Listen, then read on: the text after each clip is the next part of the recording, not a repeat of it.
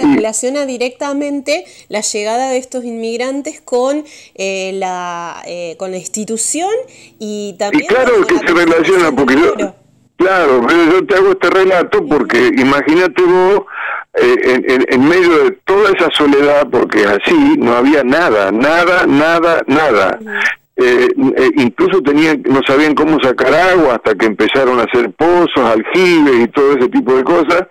En ese, en ese círculo, ¿no es cierto? En ese círculo que te estoy diciendo, donde se alojaban todos, que en el centro era despoblado, pero así en todo el contorno que habrá tenido, qué sé yo, no sé, 100 metros de diámetro, más o menos, o sea, o sea en un, eh, eh, tomando un radio, 50 metros todo alrededor de ese radio, no sé, de ese punto, ¿no?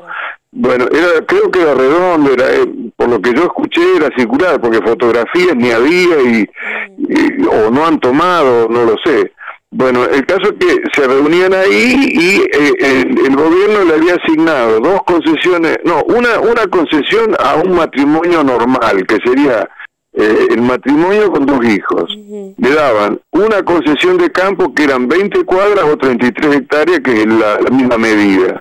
Bueno, y eh, eh, una arado mancera, una pala buey y herramientas manuales así para el trabajo y dos bolsas de trigo para sembrar.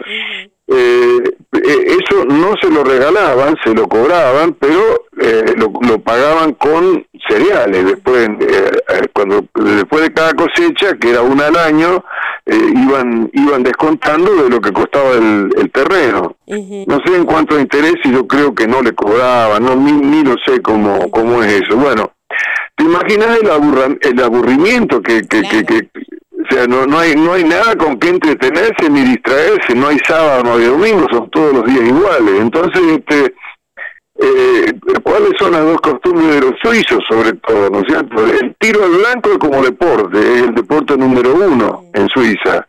Bueno, y la, el, canto, que es algo que nos llevan en los huesos, ¿no? Claro, claro. Eh, eh, entonces, bueno, empezaron a reunirse. Em, eh, eh, como, como estaban todos juntos, porque el campo asignado lo tenían desparramado en todo el sector de, la población, acá en San Carlos Sur, San Carlos Centro, todo lo que es la colonia de los tres San Carlos, ¿no es cierto? Estaba asignado ahí. Bueno, ellos iban al campo durante el día, los hombres, a trabajar, y llegaban a la tardecita, y bueno, ¿y qué, ¿qué, iba a hacer? Cenar y irse a dormir, no había otra. Es más o menos una cosa parecida a lo que es ahora la, la, la, pandemia esta, la, cuarentena sería, ¿no es cierto? sí, simplemente que no había enfermedad, pero o, virus, no, no, no había, eso no, no existía, pero pero sí la, la soledad. Entonces, este, eh, su costumbre era el canto, entonces, bueno, empezaron con, con un coro masculino, después empezaron a cantar las mujeres, pero eso mientras la, institución no estaba formada, eso era en 1860 aproximadamente que empezaron, empezaron con eso. Y fue transcurriendo el tiempo, se, se eh, hicieron amistad con la gente de Esperanza, con los de Humboldt, que era, era otra población también Suiza, la gente de San Jerónimo Norte, que también fue, fue fundada más o menos en la misma época, y bueno, eh, se, reunían a, cantar y, la, y la, institución no se había formado todavía. Y en el 76, ahí sí se forma la, se llama Gesangverein Harmony, que quiere decir, eh, Gesang es canto y Verein es eh, eh no institución, sería una, una asociación o sociedad, que sería más o menos lo mismo, ¿no? Eh, bueno, eh, eh, ese es el nombre de la institución y ahí, ahí le quedó y se fundó en el, 10 de mayo del 76. Y empezó, empezó con un coro masculino hasta pasado el mil, 1900, 1920, por ahí o algo más, no, no tengo bien preciso la fecha, hasta que se empezaron a integrar, mujeres y entonces se hizo el coro mixto, porque si no era el Menerhor. Menerhor significa coro de varones, era eh, solamente de hombres. Billy, ¿y a qué atribuyen ustedes en esta actualidad, no? los que hoy por hoy están llevando adelante la institución, a que haya sido una institución que ha permanecido en el tiempo, con una identidad bien marcada. Bueno, yo pienso que es por el cariño que se le, que se le siente, porque que se le tiene a esa, esa institución, ¿no es cierto? Porque eh, eh, eh, es por la gente que ha pasado, no no no no no no hay otra explicación. La, gente que, que fue pasando como, qué sé yo, de lo que yo recuerdo, estaba toda la familia Stettler, los, los los Maderi, de, también de acá de San Carlos Sur, y bueno, toda esta gente que eran todos suizos y algunos alemanes. Y bueno, eran muy cerrados entre ellos, recién en 1938, el 40, por ahí empezó a abrirse porque en principio tenía tenían que pedir permiso para poder entrar a la institución y tenía que ser una persona de buenas costumbres, reunir una serie de condiciones, eh, tenía que ser de raza germana y de habla alemana, o sea, tiene que tenía que hablar del alemán. El, el suizo no tiene idioma, el idioma que usa el suizo es el alemán. Eh, nada más que es un dialecto distinto, pero pero es el, el idioma es el alemán. Entonces, bueno, eh, por eso digo raza germana, porque podían ser austríacos como suizos como alemanes los, que integraban la institución. Y, venían a cantar, ¿no es cierto?, al coro. Eh, otra gente no, no podía hacerlo. Y bueno, después en, en el 40, por ahí más o menos se fue abriendo y porque iban perdiendo viento, o sea, cada vez se quedaban con menos, entonces venía menos gente eh, al principio, como no había, como te explicaba en un principio, no había nada, eh, no había ninguna institución ni nada, entonces bueno, ahí funcionaba, pero después ya ese sistema no, tuvieron que abrirse sí o sí, y bueno, eh, se buscó siempre de, buscar gente qué sé yo, de buena reputación, no no no no, no poner gente que no, que arruine al resto, ¿no es cierto?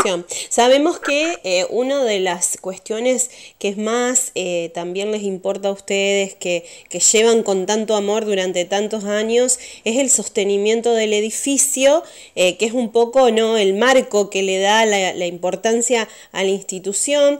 durante todos estos años han podido hacer refacciones, han puesto en valor algunos eh, sectores de este edificio. En este sentido en particular, ¿hay algún proyecto, tienen alguna iniciativa que por ahí habían planteado a principio de año, que bueno, que por la pandemia por ahí se va a retrasar un poco en ese sentido, ¿qué es lo que, lo que por ahí como institución quieren lograr?